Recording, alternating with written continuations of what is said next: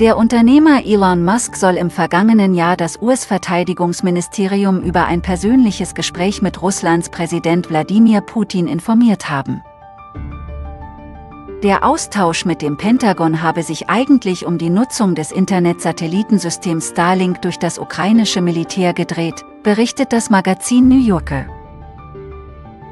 Musk hatte der Ukraine zu Beginn des Russland-Ukraine-Kriegs Starlink-Empfangsanlagen, die von seinem Raumfahrtkonzern SpaceX betrieben werden, kostenlos zur Verfügung gestellt.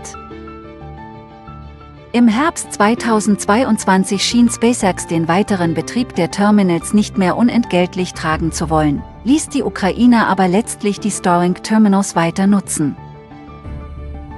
Zur gleichen Zeit sorgte Musk mit umstrittenen Friedensplänen für Aufsehen. So sollte etwa die Ukraine auf die von Russland völkerrechtswidrig annektierte Halbinsel Krim verzichten. Zudem waren im Oktober Berichte über ein Gespräch zwischen Musk und Putin aufgekommen, die der milliardenschwere Tech-Unternehmer jedoch dementierte.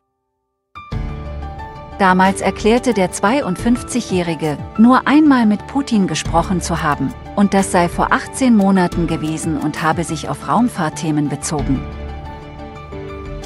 Stimmt der Bericht des New Yorker, hätte Musk in dieser Angelegenheit gelogen und nicht, wie er selbst sagte, 2021, sondern 2022 persönlich mit Kreml-Chef Putin gesprochen.